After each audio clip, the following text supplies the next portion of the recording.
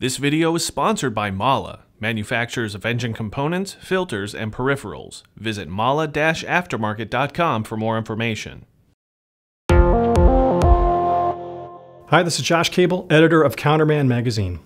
Oil filters play a fundamental role in the operation of a vehicle. They're designed to trap tiny particles that can damage the engine's mechanical components. Changing the oil and the oil filter at the recommended service intervals is the single most important maintenance item on any vehicle today. But that hasn't always been the case.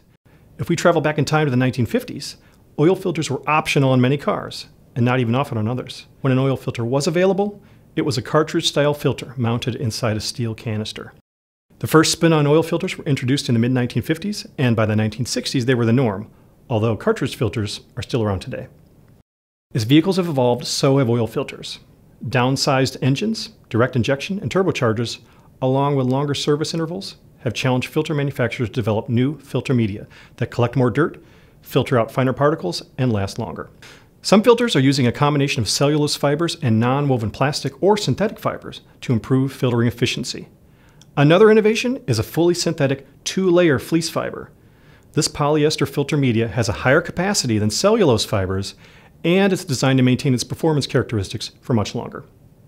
With many premium filters designed to last 10,000 miles or more, it's safe to say that these aren't your grandfather's oil filters. I'm Josh Cable. Thanks for watching, and we'll see you next time.